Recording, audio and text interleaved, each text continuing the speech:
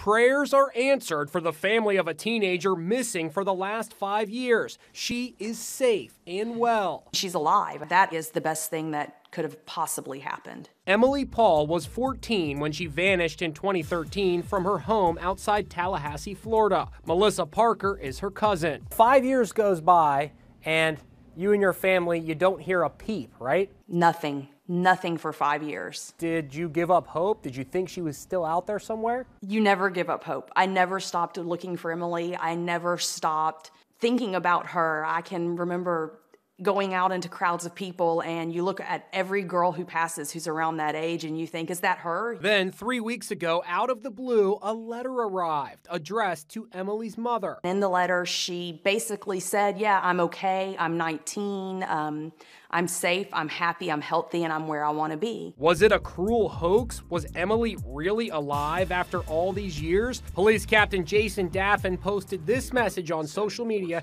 asking Emily to come forward so they could be sure the letter was legit and not written under duress. Emily, if you'll do this, then I can just, I can close this case and uh, and I can have a peace of mind knowing you're okay. To everyone's surprise, Emily walked into a local police station and asked to speak to a detective. Her remarks to him was that she was happy. Uh, she's fine where she's at and that she had a good support system. But there's a heartbreaking twist. Emily doesn't want her family to know her whereabouts.